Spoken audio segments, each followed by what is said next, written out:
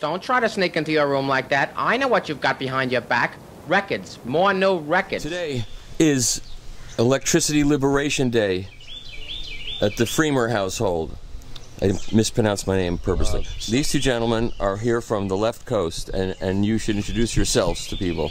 I'm Rex Hungerford, Audio Ultra and King Rex Electric. And you are. Ed DeVito, Audio Ultra.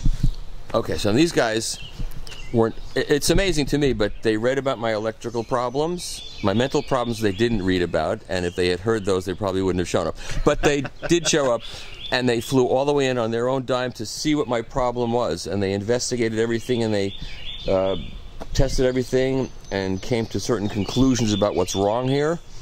And in in uh, consultation with Garth Powell from AudioQuest, who's a very helpful guy, uh, they've come up with a solution. And my electrician is here. I didn't wait for my electrician, Firesign Theatre style. He's here, and uh, he's he'll be showing up in a few minutes. So here, here's my electrical issue. Here's my meter, and if you look in there, uh, maybe we, you can see that there's a a junction there of uh, I guess that wire in there is whatever it is. It's really old. It's like 40 plus years old. And even though my house was built by uh, members of the Kuzma family, it's not the Kuzmas from uh, Kuzma turntables. so, but it is a Kuzma, which is, and he says they're probably related somehow. Here's here's the issue. We put in this Generac generator here to go on whenever the electricity fails. Seemed like a good idea at the time to do that. It's it's gas powered. And in order to make this work, there is, and these are my my uh, utility people, Air Group. I'm just giving them a plug. They're really great people. They did they did a good job. They did everything according to code. And this is the transfer switch. So the electricity comes from the street, and there across the street there is you can't see because it's kind of hidden by a tree is the transformer and we are on Rockland Electric Power. And uh, they're out of New York State which is not that far away but we're at the bottom of their of their grid.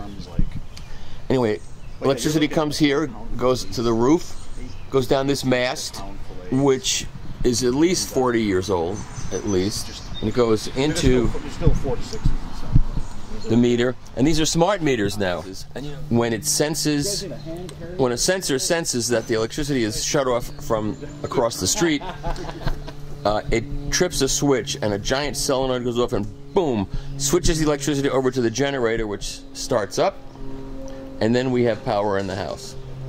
In order, and when that happened, the sound of my stereo turned to crap. And I know some people are saying, well, that's just in your mind. Well, I had no expectation of it turning to crap, but it did. And then when I contacted Garth Powell, I said at AudioQuest, I said, "Am I crazy?" He said, "Well, yes, you are crazy, but that's not. But you're what you're hearing is exactly what happens. I get calls like this all the time from people who have either done this, put in this this uh, generator and a transfer switch, or they've decided to go off the grid by putting solar power on the roof, and then there's an inverter that has to turn the DC into AC, and that creates these problems, which I won't talk about uh, on camera here. But it has to do with grounding. The grounding is all done according to code in order to pass inspection by the town, and um, the transfer switch, everything that goes on in there is to code, but that is not to audiophile code. And so apparently, uh, there's all kinds of noise being generated on the line. And this is in addition to the fact that I have this weird grounding issue here, and there's a hum problem here that's just driving me crazy. So these guys who have come here from the West Coast Yeah. promise me that this will all go away, that, that everything will be beautiful and wonderful when we're finished. It's going to be significantly better. and I was, and there's my, there's Craig, There's the Craig big guy. Bradley. He is my electrician. You're good to be on camera. I am fine. Very dapper. And Craig will always, I will always be indebted to Craig for uh, introducing me to my young protege writer Malachi Lui, who he heard on the radio here and said, "This kid sounds like you." Yeah. and yet, sure enough, he, unfortunately for him, he does. All right. So, what exactly are we going to do, and what are we going to try to accomplish from your perspective? Because you're doing it. yeah, well, to the kind of start of it was looking at this original service. It's old. It's degraded. There's wire that's rubbing on the roof of your house. These are just interior. There's old aluminum lines that have corrosion and they break as they go through the meter. They don't make good connections. It leaves from your meter and it goes into a generator panel. And in the generator panel, it's it's getting two supplies from the service, from the house, from the generator here, but you've got junction points inside of here before it goes into the main panel into the house. The main panel in the house came out as came out through a feeder line. Actually, that's not the feeder. I believe it's this one. Is the feeder line, Right. which feeds over into the audio room. Right. So what you end up with is a whole bunch of connections, dissimilar metal points where they're making contact. Um, most all of it's done in aluminum wire, and aluminum wire just doesn't. And I think one of the most fascinating insights that you had that you told me about, and I never thought about it, is that most audiophiles begin their search for better electrical service in their house in their room where the AC jacks are. Whereas what you really have to do is start here, out here. as far out as you can get. Yeah. Preferably the transformer. Yeah. Well, Preferably, but that's not feasible in many places. But interestingly, if you live in an apartment building, you can't do any of that. So that's a, that creates another big problem, which is why I tell people try one of those regenerators if that's all you can do. You'd be amazed at what it might do. You Yes. know? Yeah, apartments are a whole different ballgame. Yeah. Whole different ballgame. Hey, can you guys uh, blow the moss off my roof while you're up there? Absolutely. Clean the gutters. gutters. Looking on a scope at what your waveform is. So, I mean, when I get on here and look at your A phase coming from your utility, you've got about 4.6 harmonic total harmonic distortion on A, and on B, you've got about the same. That's not bad from what I understand. It's not bad. No. And it's just giving you a baseline reading of what's coming in. Right. What you can do is go in and start turning all the circuit breakers off in your house and see if it drops. And if it happened to drop to say 2.9 or something, then you would one by one go through your circuit breakers and figure where the noise is in your house. And then you go, let's put that on my non-audio phase of my my my my panel and kind of keep it away from your audio. Then put your audio on the other phase, so you're giving a little less. Right. But we're not doing. I'm not doing that. No, and then you can get into here too, and you can just see the waveform, which with that harmonic distortion, you're getting a little ragging at the, the top, top, and a little ragging at the bottom. Right. And I saw, I saw that on the PS Audio. They they have the ability to show you that, and Yeah. I saw that too. Per this noise, it's it's not bad. So This is the new panel. Yeah, this will be the new outdoor panel. They just mm-hmm. make some nice stuff. One circuit breaker. The power is off downstairs. The generator is on, so my wife can work. Craig is up there snipping wires. Here's the old wire. It's vintage.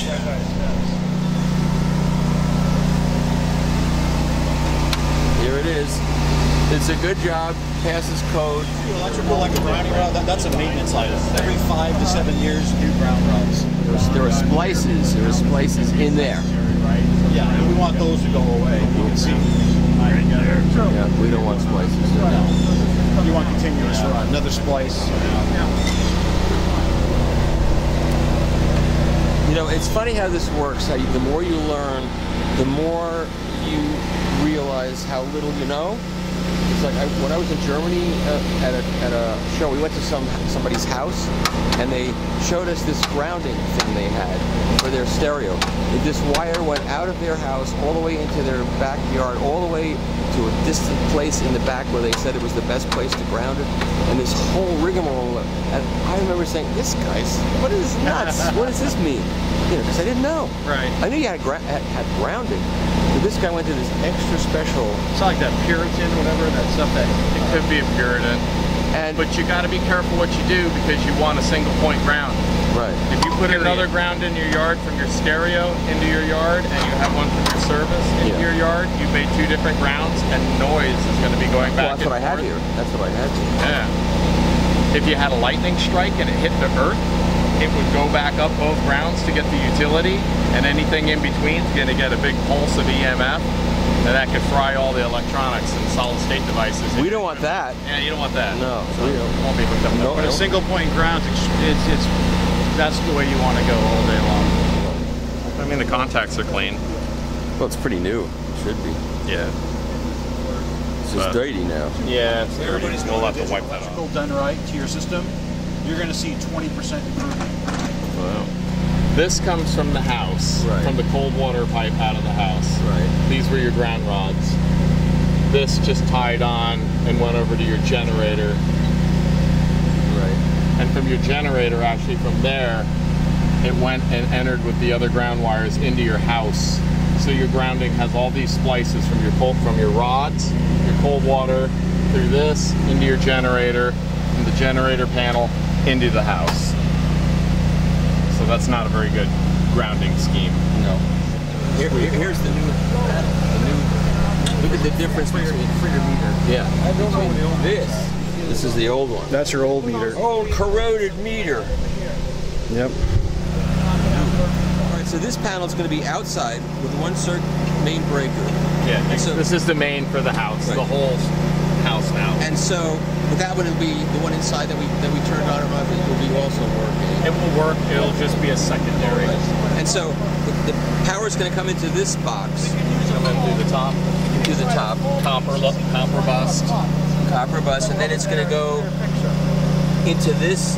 There'll be a breaker here that will feed your audio. Okay. So direct out. The generator and rest of the house will just continue through and out. The way it was. So you're peeling off your audio Right. before it's ever influenced by the rest of the structure. Yes. Let's just cut that corner of the roof off.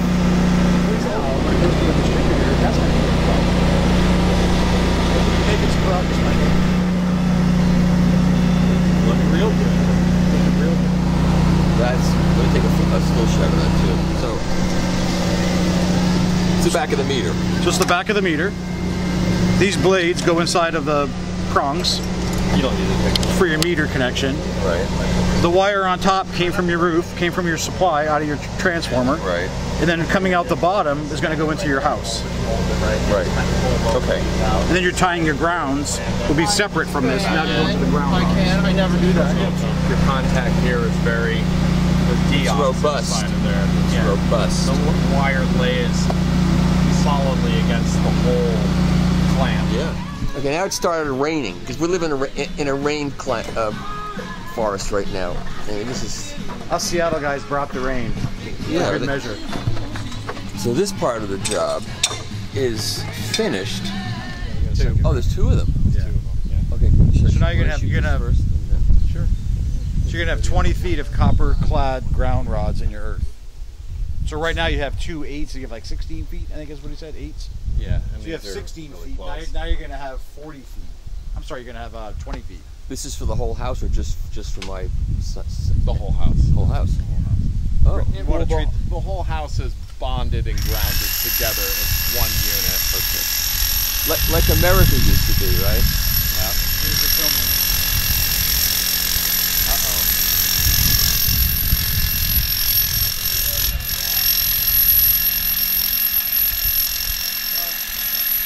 So we were drilling into the gas line with the last one. Now we're going to try something else. Hopefully, not with the gas line.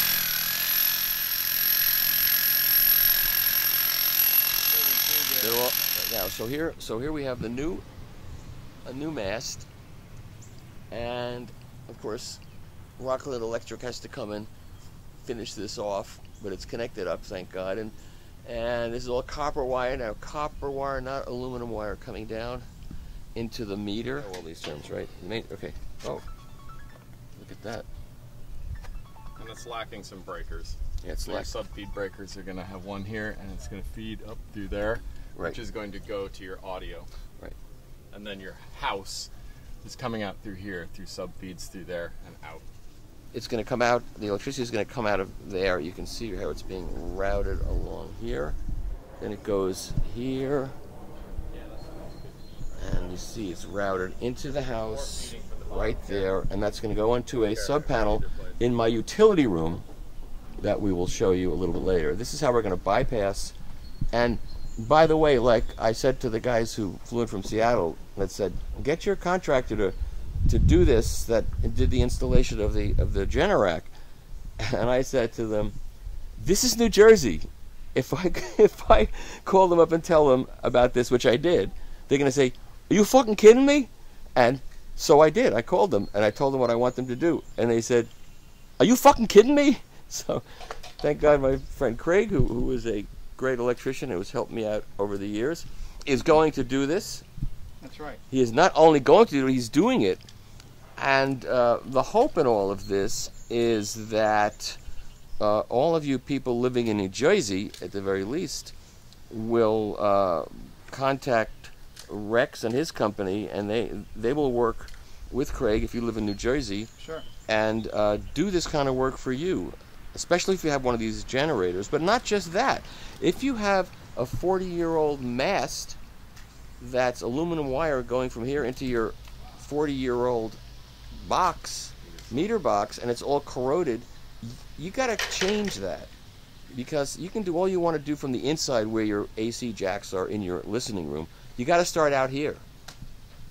And I've learned that because last night I sat sat and listened, even though it was only partly done, and I heard an, a big difference. No, I didn't double blind test it. I didn't have to. I played records I knew really well, and it was fundamentally different. But more about that later. So now you're going to be twisting pairs of wires.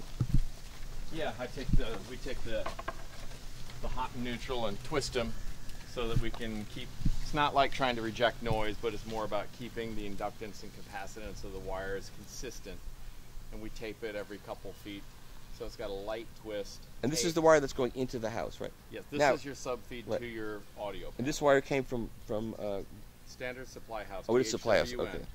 Yeah. And have you tested the the the um, directivity of this ground wire? I know that sounds crazy. It's not crazy. Garth Powell is the guy who told us about it Yeah. and has the equipment to do it. You don't.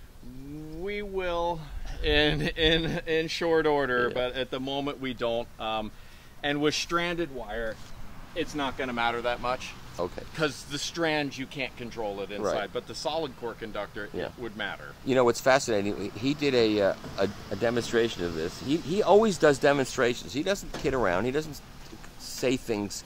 He demonstrates it. So he did a demonstration at a show, and he said, "All I'm going to do is reverse the ground wire. This this ground wire in this stereo system in this hotel room. We're going to play this trumpet track, and I'm going to reverse that wire. That's all that's being changed, and you see what you hear."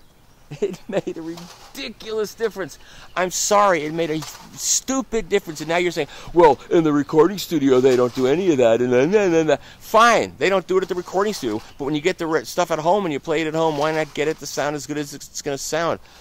Ah, I'm in this big argument now with these mas- these mastering engineers on Facebook who hate me and write all this terrible stuff and think that I work. I'm in a playground. They are the real workers, and I'm in a playground. What's really happening? I, I know what's happening. These these are not these are digital mastering engineers. What's really happening is record sales are going from 600 million last year to a billion dollars next year, and they don't have a cutting lathe, and they're freaking out and they're blaming me. It's fantastic.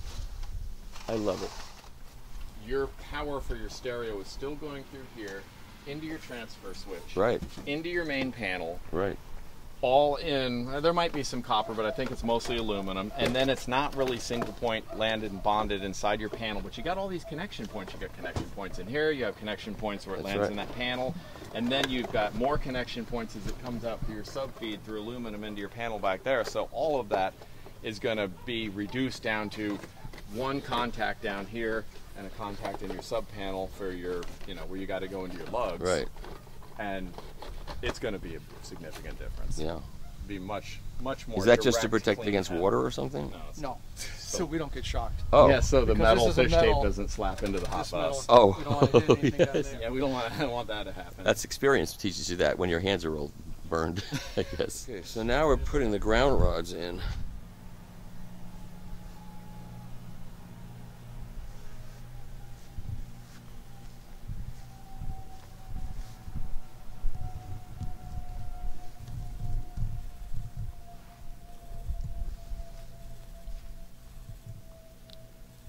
This would be. This is the bomb. You can just pull it apart.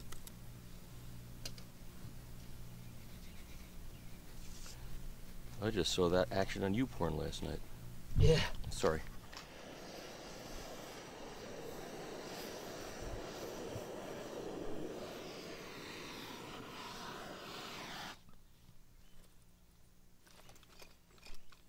And you need the graphite also.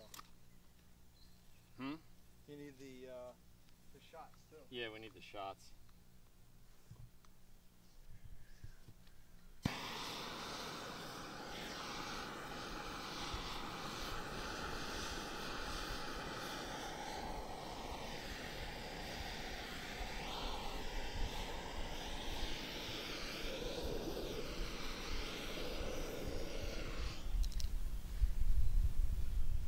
This is a mix of powder. That's the flash stuff. This is a mix of powder and it must be a copper mixed into it because it will literally create a weld between the two of these. It's going to melt Oh. when it goes into here. Oh. We're sure this is the one Whoa. the guy said to fit in here. So that's, That's crazy shit, man. I never seen nothing that's like that this. That one. This is the starter material. They're going to blow up. So sta- I should stand back. I don't think it's going to be huge, but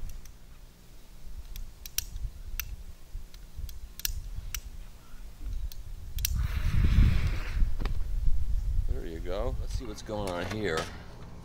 So there, there's this copper circuit breaker right there. yeah. Oh, yeah. It's, it's just not in. Ground wire. This is the ground. This is the ground of the ground rods, but we need to replace this. This is part of the home, but it needs to be reattached Yeah. with new wire. Seems seems sloppy. The old stuff. Yeah. Not you, not the new stuff. For God's the sake. old stuff is If I really a thought mess, the yeah. stuff was sloppy, wouldn't I wait till you guys leave before I said it Yeah. to everybody in the country? But no. Yeah, technically it's probably legal, but you got butt splices here, you've got butt splices here outside the house, you've got corrosion on your wire. It's and It somebody messy. Yeah. Yeah, and that was all corroded and no good, so we're abandoning all this and we put in a new ground wire out to the new ground rods in the yard. So there's one So one's here. double Oh, acorn, so, so liquid so they- taped. and they connect. to- They're, like it's like. Series Oh, I is see. through. In, in series. I see. Yeah. It's a it's a series of ground wires, Mm-hmm. and this goes to this one.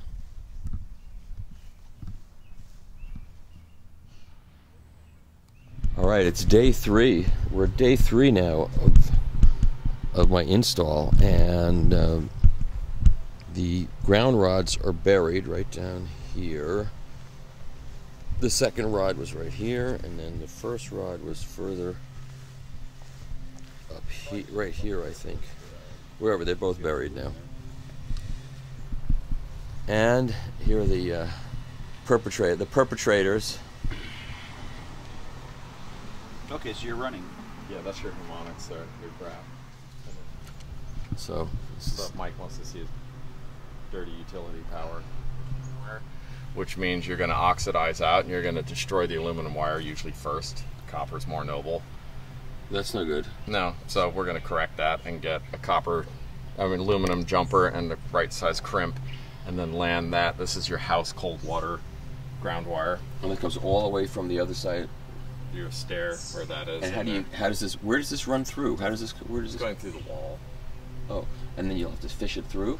No, this is existing, so we're going to tie onto the end of it. Oh, I see. Heat shrink over it, to keep the moisture and stuff out of it. But this is and this- it. And this is uh, aluminum. It's aluminum. And so, but you, then you say you, aluminum shouldn't go to copper.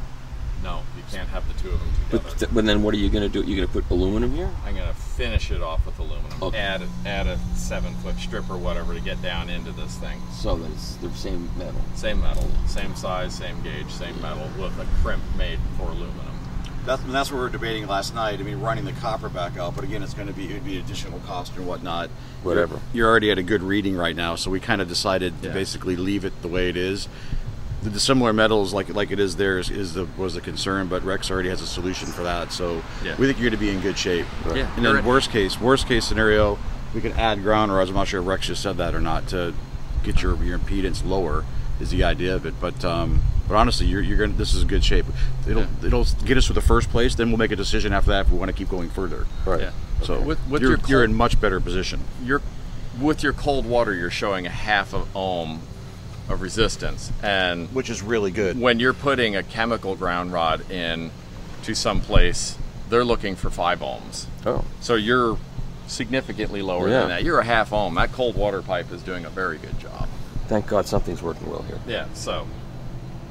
Yeah, All right. and that with these grounds out here, you know, Yeah. and these will help a lot with a lightning arresting a lightning as Right. it's because a lightning strike on the utility line would come in it would pretty easily get into this line and go out and want to shed, shed to earth but that's why we're also putting a surge protector out We may have a chance to test this this afternoon. They're saying it's, there could be very serious weather here this afternoon, including hail and lightning. And... So let's just recap the work that was done here to upgrade my electricity. So it started on the roof with a new mast and a new connection to the electricity across the street. And this is probably not the final uh, way this is going to look. Once a rock uh, once uh, Rockland Electric comes they'll probably clean that up a little bit. And then it goes copper wire into a new meter box all copper wire. And then it goes into this box which is now our new main box. It's located outside and um, one breakout goes there and one breakout goes up here. And this one goes all the way across the side of the house into my utility room. Now down here you can see how much cleaner the ground setup is. This was a mess before. It was multiple crimped connections and now it's much cleaner and there's the main ground wire that goes under there and there are two large ground rods in the ground there. And those are the only ones that there are. Okay? Now, we come in here, that's of course Fios, and this is the uh, Generac. This is the transfer switch that determines whether the electricity that goes into the house is from the street or is from the generator over there. That's what was causing my troubles well, not all my troubles, but my troubles related to electricity. So, in any case, that's that. That still goes where it did, and that goes into into my house, into the secondary box that used to be the primary box in the house. And this one goes across here, here, and then into the house. Now we'll go inside and show you the inside. Okay, now we're in the utility room, and there is where that conduit comes into the house. It's right there. Comes around here. Goes over here. And it goes into this sub panel here. Now I'm going to show you what's inside this sub panel. Now this sub panel, as it's set up right now, is actually a single phase connection. So rather than having 240 volts going into here, divided into two phases, uh, the choice was made to bring only a single phase in because that's all I really need for my stereo. However, the inspector doesn't like that. The town inspector came here and did not like that, so we have to modify this and put in the other phase. Even though we won't use it, it's got to be in here. That's just a matter of code. It will not affect the sound of my stereo, fortunately. At any rate, there are two sets of wires, three sets of wires going out of here. So there's one that goes into my listening space. And that's where it gets plugged in. So there's a separate line for each of the monoblock amplifiers. Each one has its own 20 amp service, which is very cool. And rather than go fishing to install this, we ran conduit above the heater, which is easier and it's fine. And I'm quite convinced that whoever buys my house will be an audiophile who wants a room that works great and um, has really good electricity. Now, the other set of AC jacks is behind the equipment rack. You can't see it, but that one's there, and that's fed from another circuit that comes out of here and goes down back there. And then there's a third one. While they were at it, I had them install another line right here. And this allows me to have another, I have another equipment rack in here that I use for reviews for, mostly for Analog Planet. And that's the setup. And that's a uh, surge protector for this system. So the way this system works is there are 220 amp runs for the amplifiers on the amplifier side. There's 220 amp runs for the low level signal on the front end of the system. There's a 20 amp here for the home theater upstairs, and the difference this made to the home theater sound was it was amazing how much better it is now that it runs here instead of through the main house. And then there's a 30 amp circuit breaker here for the surge protector. And that's it. And the difference this made to the sound of my stereo is like having a new stereo installed. And I'm not kidding.